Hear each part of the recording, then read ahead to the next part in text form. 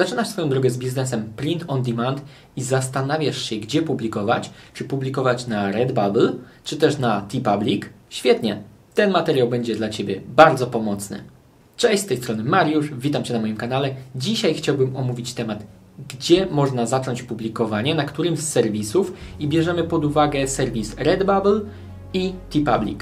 Ja publikowania na tych obu serwisach zacząłem praktycznie w tym samym czasie. Skupiłem się na samym początku najbardziej na Redbubble, a później dodawałem swoje projekty na TeePublic. Obecnie na Redbubble mam sprzedanych produktów około 30. Oczywiście nie jest to bardzo dużo, aczkolwiek według mnie jest to fajne rozpoczęcie tego biznesu na Redbubble, a na TeePublic zero. Dlaczego tak się dzieje?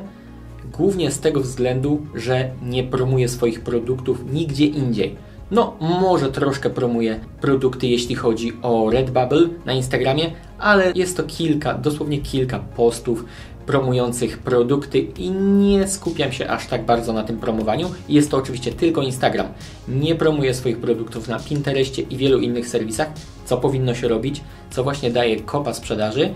Jednak Redbubble podbija moje sprzedaże automatycznie sam wewnętrznie. A TeePublic niestety nie. TeePublic to serwis, w którym Ty musisz ściągnąć tą rzeszę ludzi, aby kupowała Twoje produkty na samym początku i jeśli TeePublic widzi, że przynosisz ze sobą publikę, to wtedy zaczyna promować Twoje produkty i wypycha je tak jakby do przodu i dzięki czemu są widoczne dla innych na serwisie. A Redbubble robi to automatycznie na samym początku, dzięki czemu jest znacznie łatwiej rozpocząć swój biznes POD na Redbubble. Więc moją opinią serwisowi, któremu należy się przyjrzeć jest serwis Redbubble na samym początku. Ale również warto zarejestrować swoje konto na TeePublic i w międzyczasie wrzucać swoje projekty na TeePublic. Bo kto wie, może ktoś je tam zauważy, a może znajdziesz czas i poświęcisz na promowanie produktów na TeePublic i zwiększysz swoją sprzedaż.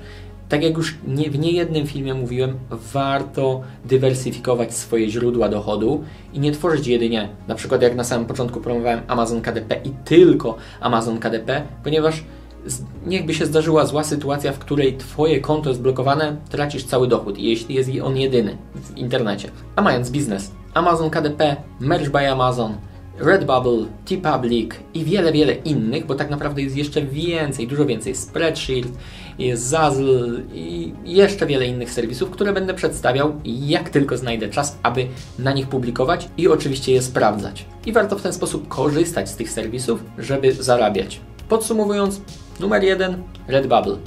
Zaraz później TeePublic. Można poświęcić później czas, ale jeśli chcesz się skupić, to bardzo polecam na samym początku Redbubble, bo już go sprawdziłem. Widzę, że przynosi zyski, są w sprzedaży, więc mogę śmiało polecić TeePublic. Nie mam sprzedaży, nie mogę polecić. Oczywiście sprzedaż taka, sprzedaż na TeePublic jest i na pewno wiele osób, być może Ty generujesz sprzedaż na TeePublic, więc jeśli tak, to podziel się tym w komentarzu lub też jeśli zarabiasz na Redbubble, też o tym napisz. Będzie mi bardzo miło czytać takie komentarze. Jednak w mojej osobistej opinii Redbubble jest znacznie lepszy. To był krótki materiał informujący, który serwis POD można wybrać na samym początku, który jest według mnie lepszy. I jeśli ten materiał Ci się podobał, to oczywiście wciśnij łapkę w górę, napisz komentarz, wciśnij subskrypcję i dzwoneczek, aby dostawać powiadomienia na bieżąco. I do zobaczenia w kolejnym materiale. Pozdrawiam, cześć!